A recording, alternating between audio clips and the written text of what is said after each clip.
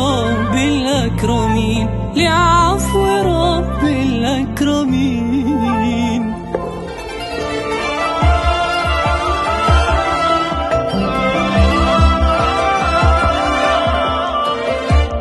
أتواجد الآن بقلب غار حراء هذا المكان الذي كان يجلس فيه النبي محمد صلى الله عليه وسلم. يعبد فيه الله سبحانه وتعالى. ترك مكة المكرمة ترك قريش ترك الوثنية ترك بيته وزوجته خديجة وكان يتجه إلى هذا الغار ليعبد الله سبحانه وتعالى. كان يحبب له الخلاء. وفي ليلة من الليالي المباركة هي ليلة من ليالي رمضان ليلة القدر.